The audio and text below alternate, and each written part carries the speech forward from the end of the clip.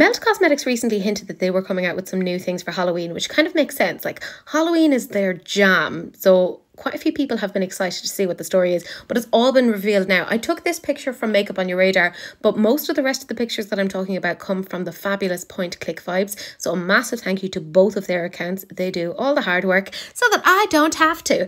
Let's discuss. It became pretty clear early on that they were doing a Universal Monsters collection, so not unlike when Smashbox did this about a year ago.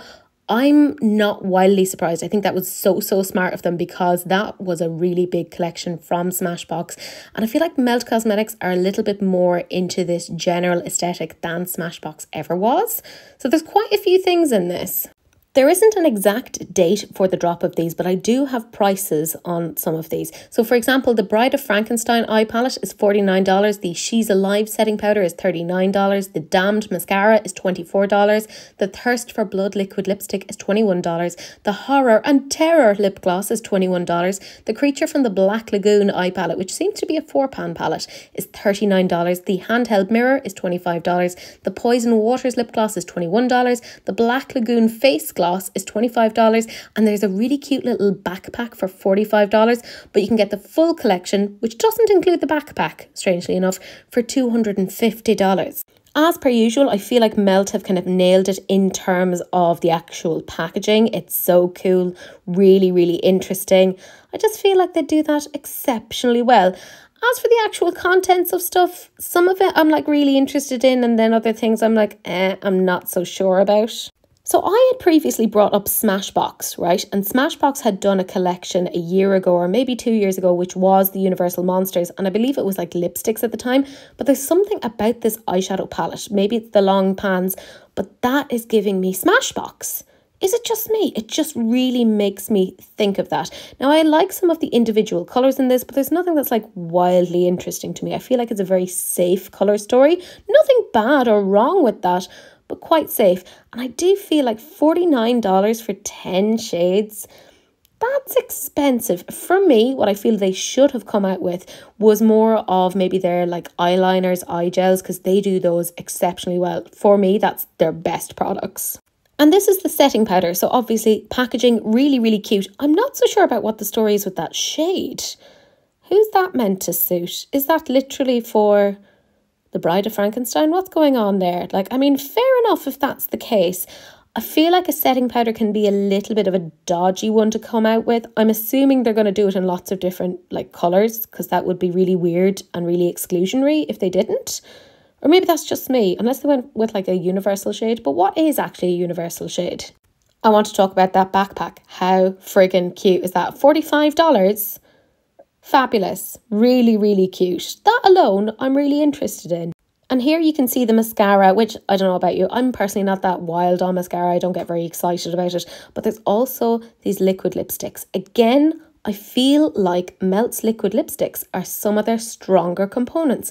Why not lead with that? Like come out with, with some really interesting colours. What I will say about this mascara is it's not like a standard mascara. It's not your here's your black. It's actually a red mascara. So for me, I'm like, okay, I, I'm kind of interested in this. It's $24, so it is a little bit pricey, but you know what? I don't hate it. And I mean, that looks really, really cool on. Let's let's be real. I don't hate that. I'm a bit worried though. If I ended up loving that, would I be able to get that again? Is this going to be limited edition? However, they did that before with the Beetlejuice. Do you remember the Beetlejuice Supernatural mascara? And that was like limited edition. And then they brought it back because people were like, we really like this. So maybe there might be room to bring this back. I'm I'm for it. I'm for some interesting colours of mascara. But my goodness, the liquid lipstick. I'm sorry, I'm basic. I love a red lipstick and this this is beautiful. Absolutely stunning. $21. That's not bad. And of course, they've done some really cute promotional pictures. I'm wondering is that the actual liquid lipstick or is it the gloss? Because there's also a lip gloss, which I'm interested to see more of. And this is the section which is all about the creature from the Black Lagoon. And I'm a bit confused as to why the eyeshadow palette is $39. Like, it's massive pans, but like, I don't know. Not wildly interesting to me. Maybe the swatches will be different. I don't know. Like, the packaging, 10 out of 10, really, really cute. There's something about it though. Again, $39. I just couldn't justify that for four shades. And they look like they're primarily matte. Maybe that green in the bottom left hand corner is a little bit shimmery. Hard to tell from this angle, so do not take what I'm saying as gospel. I could be talking out of my rather sizable arse hard to tell.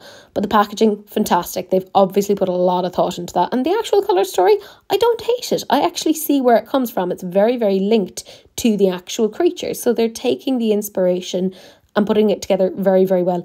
It's just, I think it's the price that gets me. If this was like $24, then I'd be like, yes, well done. This is great. But $39 just feels a bit steep to me. This is the Poison Waters lip gloss, and that's retailing for $21. I really want to see what that looks like on. Is there like a green tint on that? Because that could be super, super interesting. Could really neutralise a very pink lip and make it more browny. I like it. I like anything green. I can't help it. It's a condition. It seems like anytime they do a handheld mirror, it's always like a circular shape. They had this when it came to the Beetlejuice collection. It was the same sort of thing. Nothing wild, nothing major. I like the sort of decoration on the mirror itself but I'd probably get a bit distracted by it. But I'm blind and struggle a bit with mirrors. That is my cross to bear. But I have to say, I'm kind of intrigued by this idea of the Black Lagoon face gloss. Like, we've just seen the packaging, so I've no idea exactly what it is, but like, I have the intrigue. I want to know what's going on. Is it maybe a greeny toned highlighter? In which case, sign me up. I don't need it, but I am intrigued. I mean, it's a pretty extensive collection. There's a lot in this. Do I think that everything is equal in terms of its amazingness? Mm, not really. Personally, for me, whenever I look at Melt Cosmetics, I feel, don't come for me, like their eyeshadows are a little bit overpriced for what they are. I don't love their formulas. I'm and this is coming from somebody who owns a lot of Melt stuff. I feel they missed a trick. They didn't come out with any like eyeliners, any of those interesting things. Because by the way, they're eyeliners. If you've not tried them, oh, amazing. They're really, really good. Like the pots, the pots of eyeliners. Just just trust me, get some of those. They could have done some really interesting ones. Like, can you imagine a creature from the Black Lagoon have it be like a black base and sort of like a greeny shimmer? Do you can't tell me that that would not have been interesting. I'm confused about the setting powder. I'm going to reserve judgment, see what the story is. Do they have it in different shades? Backpack, amazing. Loving the liquid lipsticks. I kind of feel they could have done a little bit more with that though.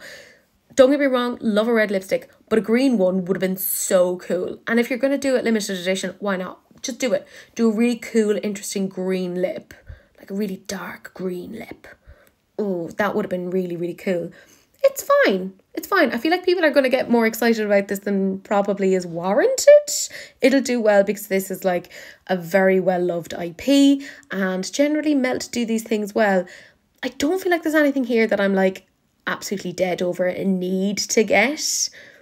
Maybe maybe my love for makeup has gone. No, it hasn't. I st- I'm still obsessed, but yeah, just on this particular launch, there's nothing that necessarily wildly appeals to me. But let me know down below what you guys think. Are you interested in this?